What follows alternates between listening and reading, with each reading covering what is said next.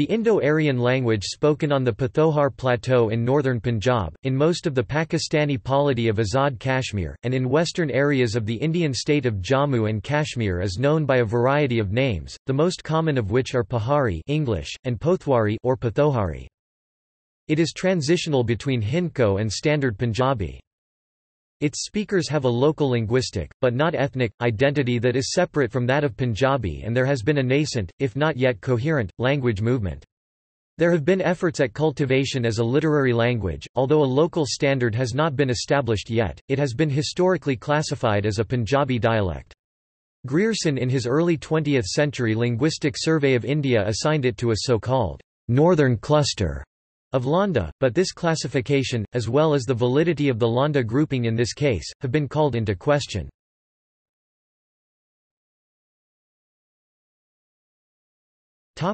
Geographic distribution and dialects There are at least three major dialects, Pothwari, Mirpuri and Pahari. They are mutually intelligible, but the difference between the northernmost and the southernmost dialects from Muzaffarabad and Mirpur respectively is enough to cause difficulties in understanding. Pothwari, Pwari also spelt Potwari, Patohari and Pathohari. Pwari is spoken in the Pothohar Plateau of northern Punjab, an area that includes parts of the districts of Rawalpindi, Jhelum, Chakwal and Gujrat. Pothwari extends southwards up to the Salt Range, with the city of Jhelum marking the border with Punjabi. To the north, Pothwari transitions into the Pahari-speaking area, with Barakau, near Islamabad, generally regarded as the point where Pothwari ends and Pahari begins. Pothwari has been represented as a dialect of Punjabi by the Punjabi language movement, and in census reports the Pothwari areas of Punjab have been shown as Punjabi majority. East of the Pothwari areas, across the Jhelum River into Mirpur district in Azad Kashmir the language is more similar to Pothwari than to the Pahari spoken in the rest of Azad Kashmir. Locally it is known by a variety of names, Pahari, Mirpur Pahari, Mirpuri, and Pothwari, while some of its speakers call it Punjabi. Mirpuris possess a strong sense of Kashmiri identity that overrides linguistic identification with closely related groups outside Azad Kashmir.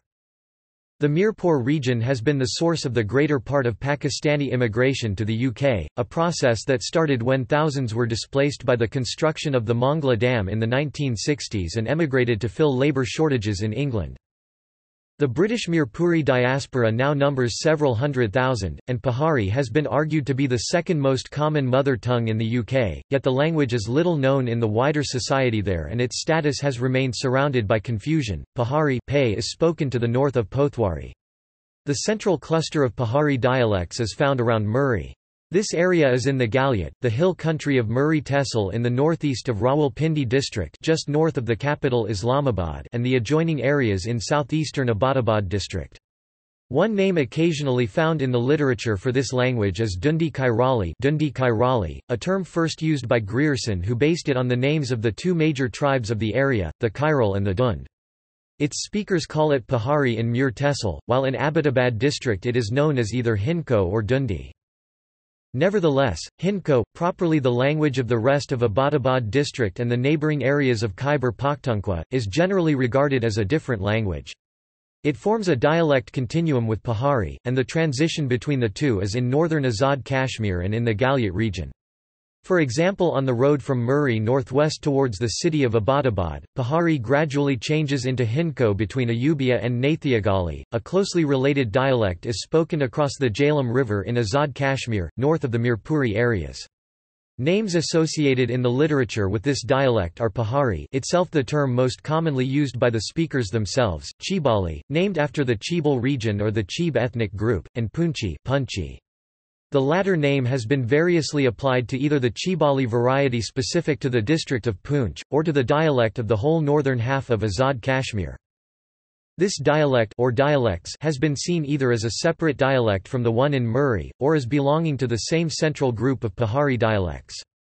The dialect of the district of Bagh, for example, has more shared vocabulary with the core dialects from Murree 86 to 88% than with the varieties of either Muzaffarabad 84% or Mirpur 78%. In Muzaffarabad the dialect shows lexical similarity of 83 to 88% with the central group of Pahari dialects, which is high enough for the authors of the Sociolinguistic Survey to classify it as a central dialect itself, but low enough to warrant noting its borderline status. The speakers however tend to call their language Hindko and to identify more with the Hindko spoken to the west, despite the lower lexical similarity 73 to 79% with the core Hindko dialects of Abbottabad and Mansehra. Further north into the Neelam Valley the dialect, now known locally as Parmi, becomes closer to Hinko. Pahari is also spoken further east across the line of control into the Pir Panjal Mountains in Indian Jammu and Kashmir.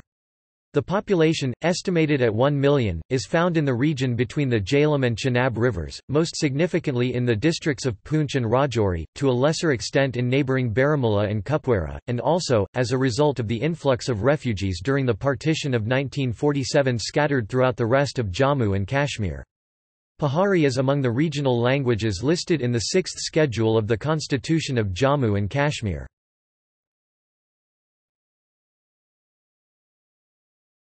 Topic: Comparison with Punjabi. Use of c endings for future tense. Use of na for genitive termination. Lokan na lokam na luka na versus Punjabi's lokan da lokam da luka da of the people.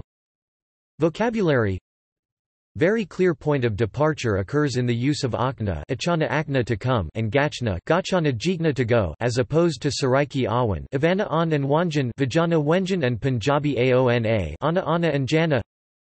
Jana Jana equals equals notes